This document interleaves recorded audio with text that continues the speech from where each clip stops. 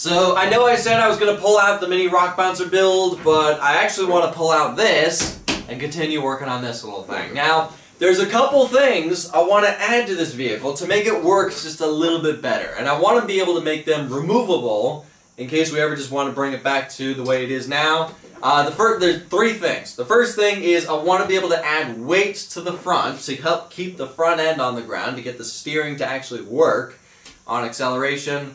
Uh, I want to be able to add two different sets of wheelie bars on the back. The first wheelie bar is going to be where the tire is pretty high off the ground, so therefore uh, it'll allow for this thing to do wheelies, but I can ride the wheelies a little bit better.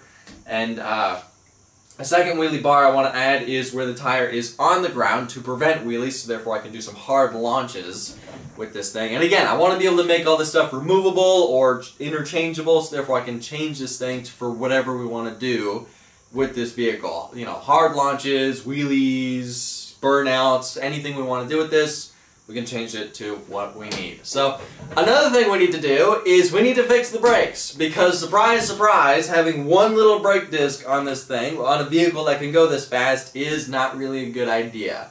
After a little while of driving this thing uh, the brake disc heats up really hot and then the brakes don't work anymore so we need to somehow fix that. I'm not entirely sure how we're going to do that because there's not really that much room on this rear axle for a bigger brake disc. Yeah, I'm not really sure how we're going to fix that problem. I did think about trying to figure out how to do front brakes, but I don't know how to do that without completely getting new tires, new hubs, and spindles. But uh, we'll worry about that later. First thing let's work on is let's install some wheelie bars on this thing.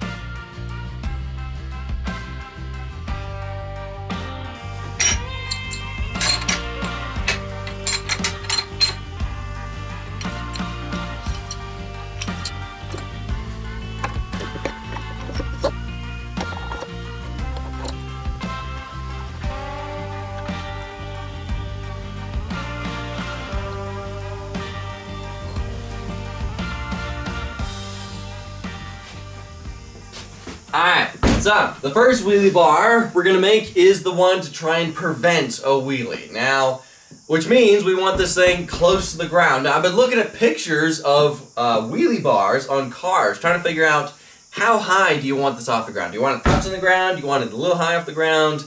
Where exactly do you want it? And it looks like it varies from car to car. And it uh, makes sense because it varies on what you want.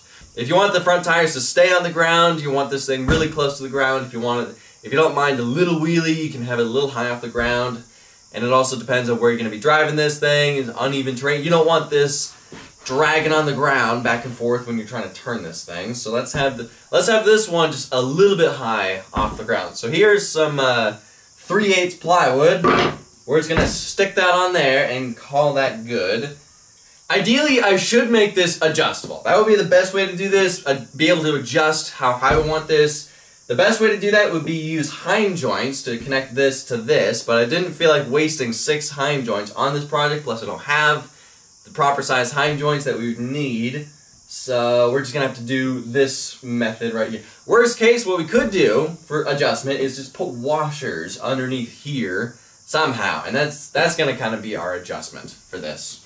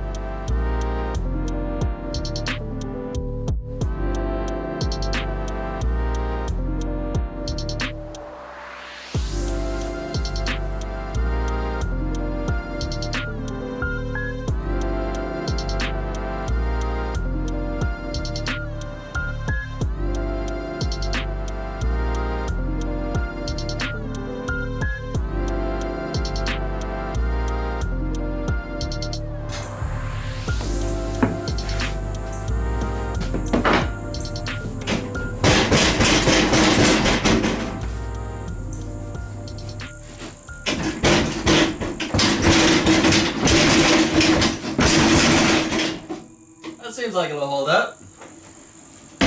The front end doesn't come too high off the ground.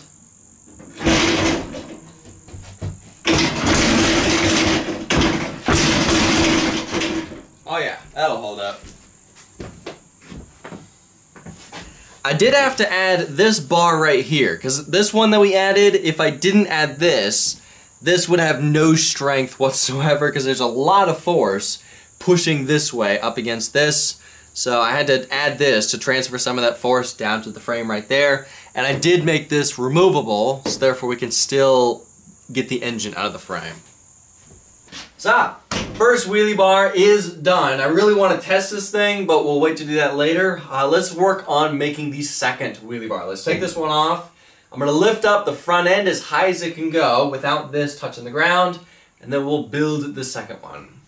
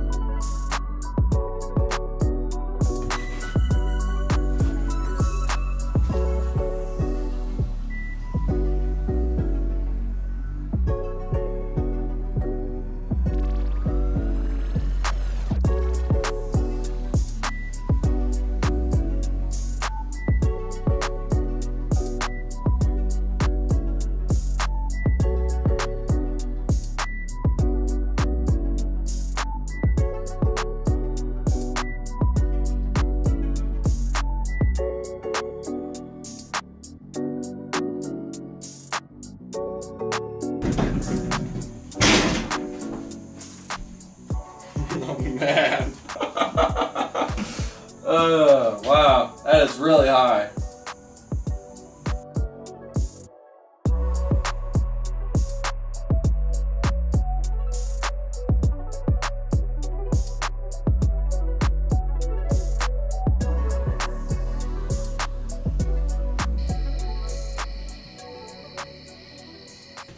Alright, let's test it just to make sure it's gonna hold up.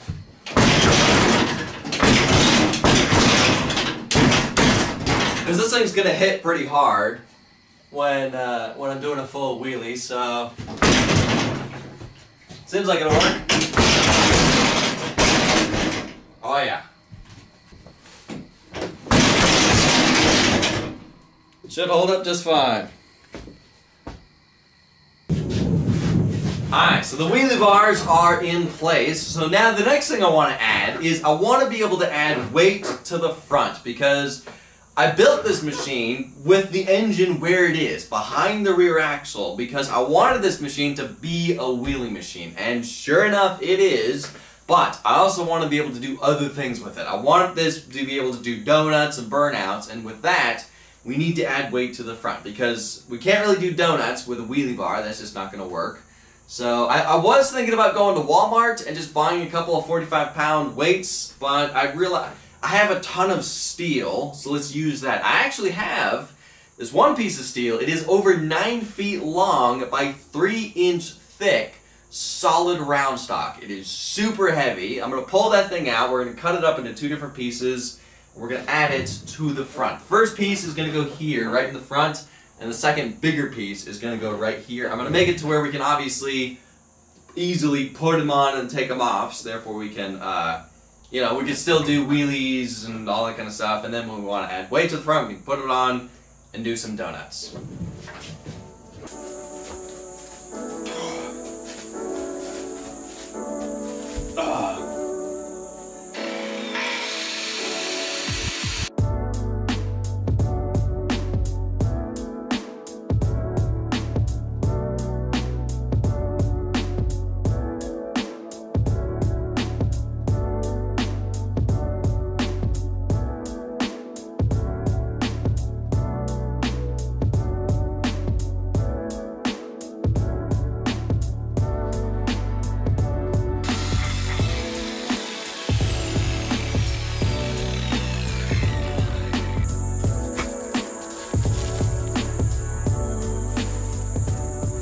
Curious to see how much this stuff weighs. So, here's a bathroom scale.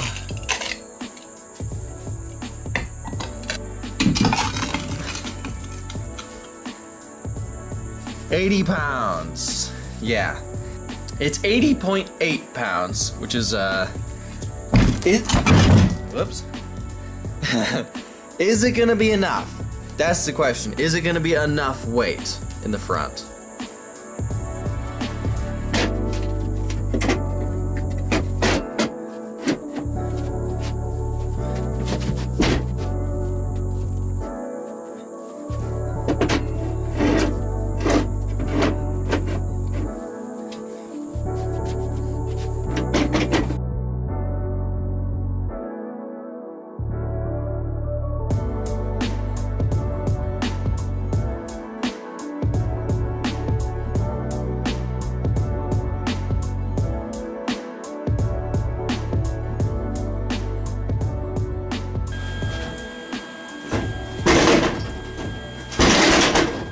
Definitely heavier in the front. So it's definitely heavier in the front, but the question is, is it enough to keep the front end on the ground under hard acceleration on concrete or on a high traction surface? Now, I'd love to go take this thing on the driveway and test it on the driveway, but unfortunately there's just there's too many vehicles in the driveway right now and it's too close to my neighbor's house my angry neighbor's house, and I just don't feel like having another confrontation with him today. So we're going to test it in here. We're only going to test the weights. Unfortunately, we have to wait uh, to test the wheelie bars for another video, but we're going to test the weights to see if they're enough.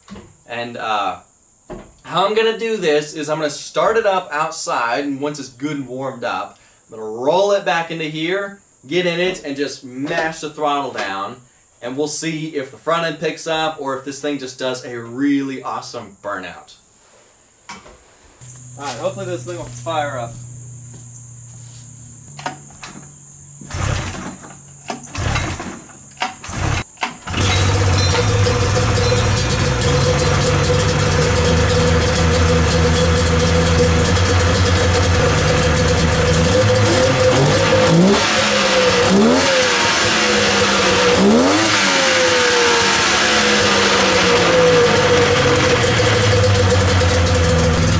Here goes nothing.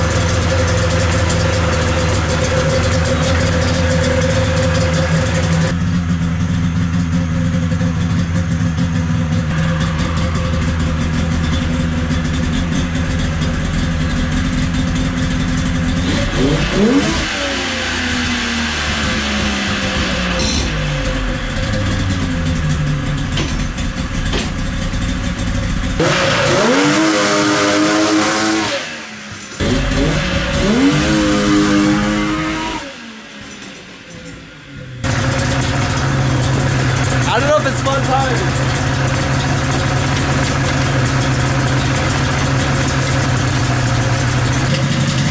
That again.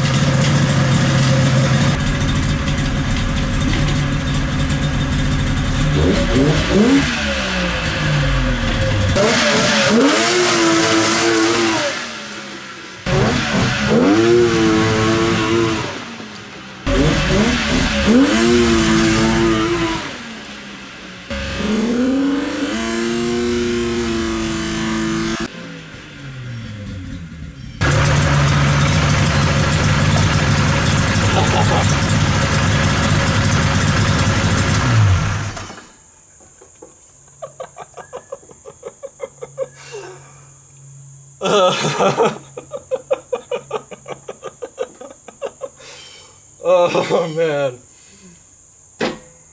thing is nuts. uh.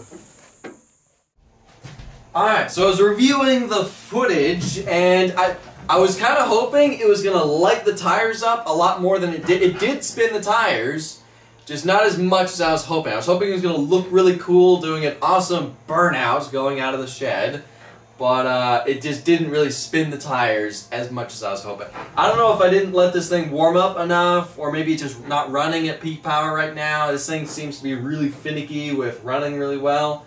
But uh, the front end did stay on the ground, which is what we were testing. Now, is it going to work on the road? I'm not entirely sure, because obviously a you know wooden floor and a road is going to be different uh, traction surfaces. So it worked for here, but we're not sure yet if it's going to work for on the road. So worst case, we could always just try to add more weight to the front. Uh, maybe try 100 pounds instead of 80 pounds, and see if that works. Uh, but now I know I said I was going to solve the brakes in this video, but I've been looking at it, trying to figure out how I could do that. Ideally, we need to put a bigger brake disc on the rear axle. I do have a couple uh, motorcycle brake discs that would be perfect, uh, but unfortunately, it's just, it, everything's so compact in here that it just I, can't, I, I can't find a place to put it.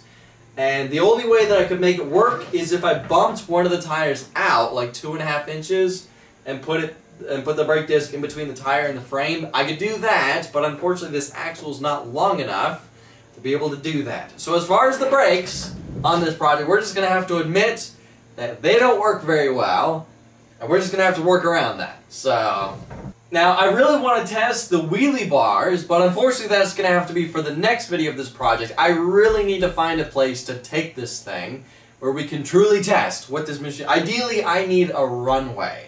I need to find like an abandoned runway where I can take this thing. But uh, that's going to have to be for future videos of this project. For now, I guess that's it for this video. A little short video this week. Kind of short, been busy with a bunch of other stuff. That's why I pulled this thing out. It's because I had to do a quick video. But I guess for now, that's it for this video. Thank y'all for watching. I'll see ya in the next video.